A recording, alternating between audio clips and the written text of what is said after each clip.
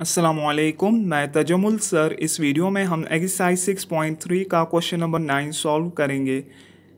ये क्वेश्चन आपसे कह रहा है कि आपने एक सबसे छोटा स्क्वायर नंबर निकालना है, जिसको फोर नाइन और टेन डिवाइड कर सके, ठीक है?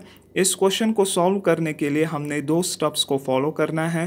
पहले स्टेप में हमने फोर नाइन और टेन का एलसीएम निकालना है और दूसरे स्टेप में हमने स्क्वायर नंबर को ढूंढना है। चलिए हम इस क्वेश्चन को ऐसे सॉल्व करेंगे। सबसे पहले हमने फोर नाइन और टेन का एलसीएम निकालना है। लीजिए फोर को। फोर को हम लिख सकते हैं टू इंटू टू यानी फोर के जो फैक्टर्स हैं that is two into two is equal to two square इसी तरह फिर हम लेंगे डिजिट नाइन को। नाइन किसके बराबर होता है? Three into threes or that is three square और टेन को हम लिख सकते हैं two into five or ten ठीक है? अगर आप देखोगे, जो फैक्टर्स आ रहे हैं, वो आ रहे हैं टू थ्री और फाइव में, ठीक है? जो पहला केस है, उसमें हमें आ रहा है टू स्क्वायर अब कौन से फैक्टर्स मिसिंग है? थ्री और फाइव हम थ्री और फाइव के बदले लिख सकते हैं. Three raise to power zero into five raise to power zero इससे कोई फ़र्क नहीं पड़ने वाला, क्योंकि ये टर्म वन बनेगी. That is two raise power two into once uh two raise power two that is four ठीक है? इसी तरह three into three is equal to three square missing कौन से फैक्टर्स हैं? टू और फाइव लिखिए टू और फाइव के बदले two raise to power zero into five raise to power zero इसी तरह डिजिट टेन के जो फैक्टर्स हैं वो हैं टू इंटू फाइव ठीक है? अब देखिए, यहाँ पे दो फैक्टर्स आ रहे हैं हमारे पास टू और फाइव लेकिन मिसिंग कौन कौन सा फैक्टर है इसमें? वो है थ्री लिखिए two raise to power one that is two three raise to power zero क्योंकि थ्री मिसिंग है इसमें। सो so, मैं लिख सकता हूँ three raise to power zero into five raise to power one that is five L के लिए आपने क्या करना होता है? आपने कॉमन फैक्टर्स के हाईएस्ट पावर्स को लेना होता है फिर उनको मल्टीप्लाई करना होता है। चलिए देखते हैं हम एलसीएम कैसे निकालते हैं। सबसे पहले आपको लेना है फैक्टर टू इसमें भी टू आ रहा है, इसमें भी टू आ रहा है और इसमें भी टू आ रहा है।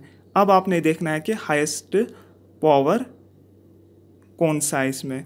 यहाँ पे टू आ रहा है, यहाँ पे ज़ीरो आ रहा है, यहाँ पे वन आ रहा है। हाइस्ट पावर कौन सा है? Two that is two raise to power two फिर आते हैं हम फैक्टर थ्री पे। यहाँ पे इसका पावर है ज़ीरो यहाँ पे टू है और यहाँ पे ज़ीरो है।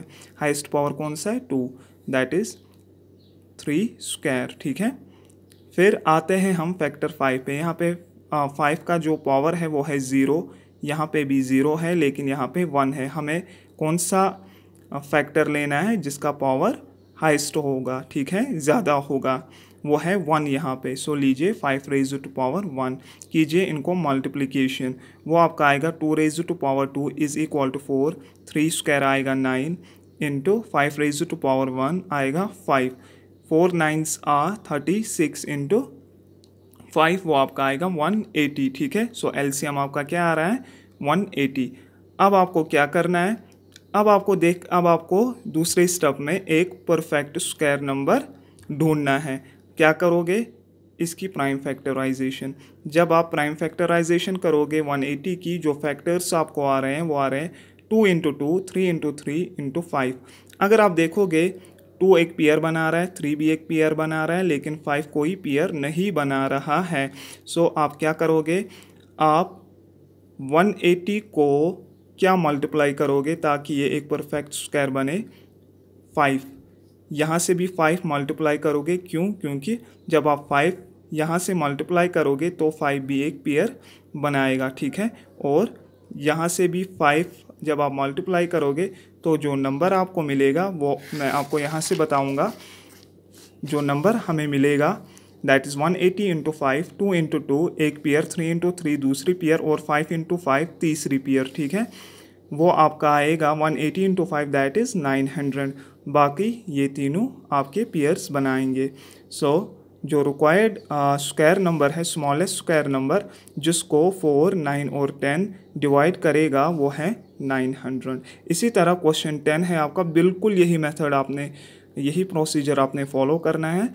बाकी सेम है, ठीक है? यह आपका हो गया क्वेश्चन नंबर नाइन।